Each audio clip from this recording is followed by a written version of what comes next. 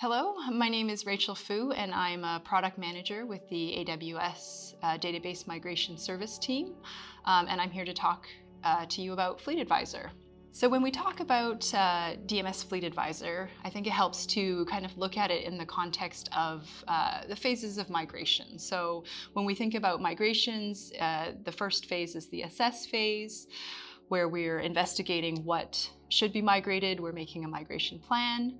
The second phase is mobilize, where we're kind of coming up with a deeper plan, uh, investigating uh, how we're going to execute.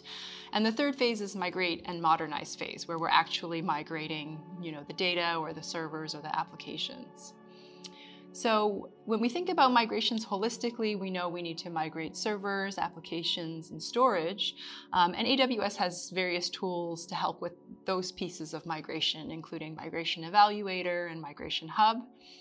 So AWS DMS Fleet Advisor really kind of fits into the assess phase specifically for databases. So it helps you uh, automatically inventory databases.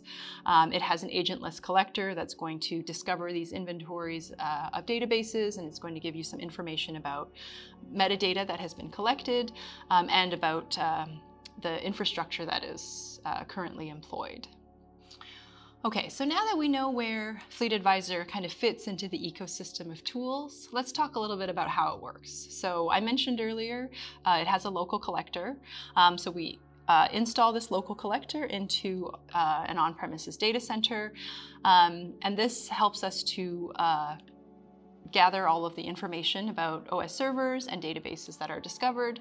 And then we then upload all that data to uh, your S3 bucket. Um, and from your S3 bucket, it then is populated into the DMS uh, console uh, where you can audit the inventory and you can do some analysis to understand uh, schema complexity and duplicate schemas. And then it's kind of a continual process of you know, gathering more information about um, databases that is then available to, uh, to audit in your DMS console.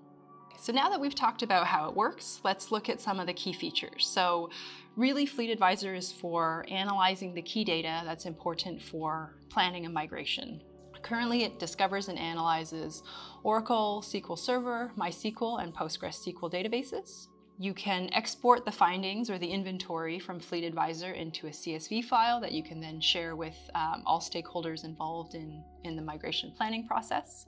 Um, and one of the key capabilities is that this is actually free. So this is a free feature of AWS DMS, so there's you know no risk to go in and give it a try. And finally, uh, Fleet Advisor also supports LDAP or Lightweight Directory Access Protocol, um, which can be used for network scanning. So thank you for listening to this presentation. Um, for more information, please check out our AWS DMS website, which has information about Fleet Advisor. Um, or feel free, again, it's a free capability, feel free to log into the AWS DMS console and just give it a try. Thank you.